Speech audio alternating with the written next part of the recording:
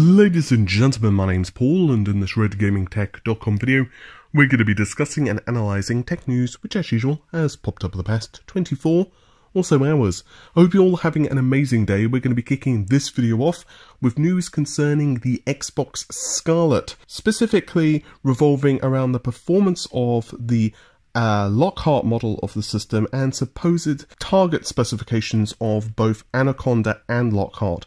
Anaconda, of course, being the more powerful of the two rumoured SKUs. So we're going to start things out with some comments from Jason Schreier, who is, of course, a well respected journalist over at Kotaku.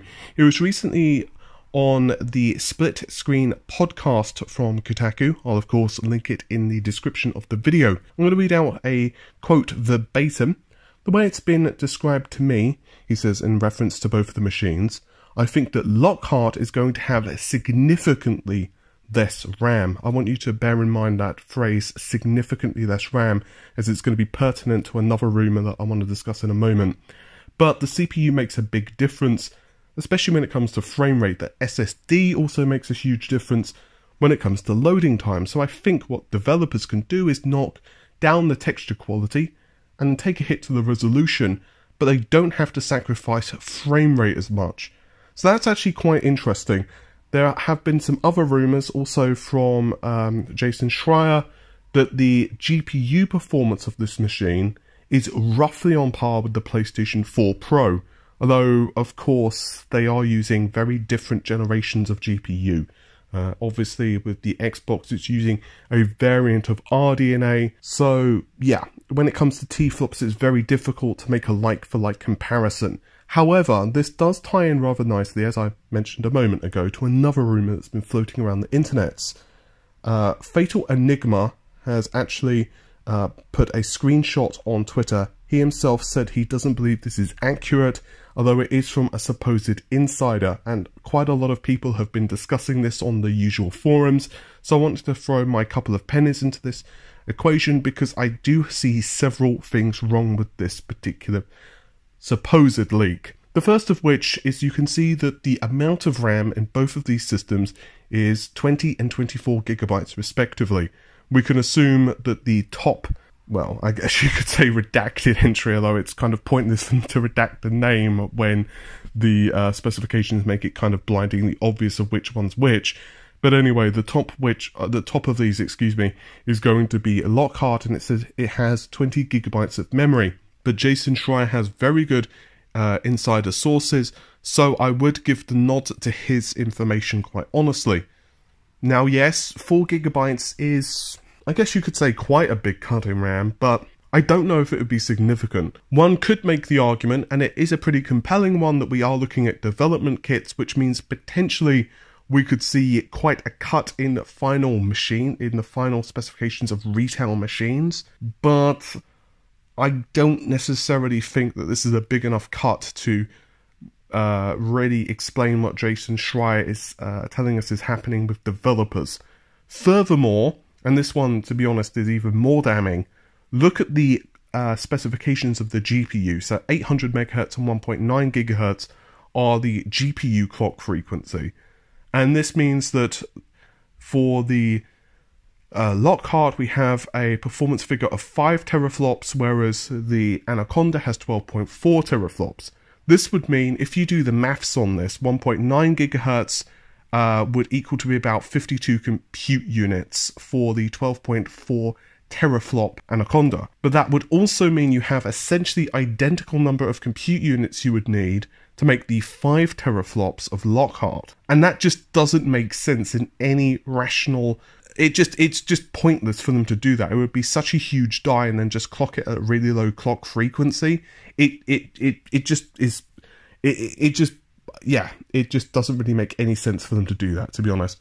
So I highly doubt that these rumors are accurate. With that said, 1.9 gigahertz for the clock speed of the GPU, even if this rumor isn't accurate, I can see being true because we know that the PlayStation 5 GPU, uh, we've seen several reports now, of course, from Komachi on Twitter, plus, uh, well, Tum Apisak has found various leaks and so on and so on.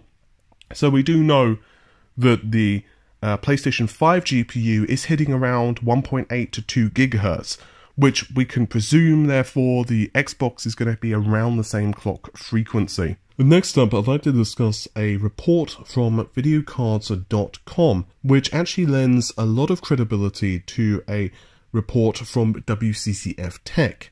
According to WCCF Tech, we would see a successor for Ampere in the form of a Hopper, which would be a GPU which would probably debut in some point in 2021 at a guess, given what we think Ampere's launch date is, which is going to be in the first half of 2020. Anyway, videocardz.com have uh, discovered a patent which has been filed by uh, NVIDIA in the United States for the uh, NVIDIA Hopper architecture. It's only a name, and we don't really know anything about the GPU architecture itself, unfortunately. Frankly, we know very little about Ampere, uh, other than the fact it's going to be produced on the 7nm process. So, the rumours have it that while Ampere is likely going to be pretty significant in its uh, architectural changes over Turing, uh, once again, I'd like to remind you of rumours that I covered a couple of weeks ago. Basically, uh, Ampere is allegedly going to significantly improve ray tracing performance along with traditional rasterization performance, potentially have considerably more uh, memory as well. But basically, the main purpose of Ampere is to fix the weaknesses on the ray tracing performance. That's what the rumors are. But Hopper is going to be possibly more significant. And the reason behind that is it's going to take an MCM approach. So multi-chip module. If you're not familiar with that, you can basically think Ryzen 3000 slash Zen 2 chiplets. So multiple dies will come together to form a whole. We have seen NVIDIA actually experiment with that already internally. And obviously, uh, AMD are, well, using this very technology to incredible success with processors like EPYC. So naturally, GPUs are also going to follow the same suit. In fact, we kind of think that Intel are going the same direction with Xe as well, and AMD themselves have said that they are researching the technology, but of course it's not been seen with the first generation of Navi processors, or graphics processors. It's going to be fascinating though, because in a couple of years' time we could have tremendously powerful GPUs with comparatively impressive yields, because obviously that's one of the benefits of chiplets. Unfortunately, we don't know enough at the moment of what NVIDIA are planning with Hopper uh, because, well, quite frankly, there is so little information about what uh, their graphics roadmap is internally. Nvidia are really good at keeping secrets. I don't know if they've been trained to do so by like the FBI or something, but those guys are just really good at uh, making sure that things don't go into the wild. So yeah, it would be very interesting to see whether this technology finds its way down to GeForce or whether this would be in the realms purely of, let's say, Quadro at the start, and then maybe a year or two later on, it would eventually come down to the GeForce cards. But either way, it's going to be fascinating to see what Nvidia want to do. We know that Intel, the rumors have it, that with Ponte Vecchio anyway, they're going to be targeting Nvidia's flagship technology, primarily with high performance computing. And we all know that Nvidia, they don't really like competition. They really want to stay on top because obviously uh, high performance computing is so ridiculously lucrative at the moment. Data sets, the size of data sets is becoming exponentially bigger as well. So it's going to be imperative for them to ensure that they have as much performance on tap as possible. So yeah, unfortunately, this is one of those things we're going to have to wait at least a year, probably two years, for us to really know what NVIDIA are planning but I'm really looking forward to seeing what uh, the future what the future holds with MCM type of GPUs. I'd also like to bring your attention to a rather fascinating leak by um, AMD themselves. Actually, funnily enough, uh, they probably made a mistake because the current driver actually advertises a feature which is going to be upcoming for Adrenalin 2020, which is obviously an upcoming driver update. They basically are touting a new feature called Radeon Boost, as well as, of course, the Adrenalin 2020 edition itself, which is also in and of itself a leak. But there's very little information of Radeon Boost and what it could be. However, there are a couple of reports that it's based on HiAlgo boost technology. Now, AMD themselves acquired this company around two or three years ago, I believe, and they have already implemented the chill technology. Obviously, we've heard a lot about Radeon Chill. In fact, a lot of AMD's press statements and even their review guides really push Radeon Chill. Trust me, they are not chilling on Radeon Chill. They absolutely love the darn thing. But in terms of what the HiAlgo boost does, it's basically a frame by frame optimizer.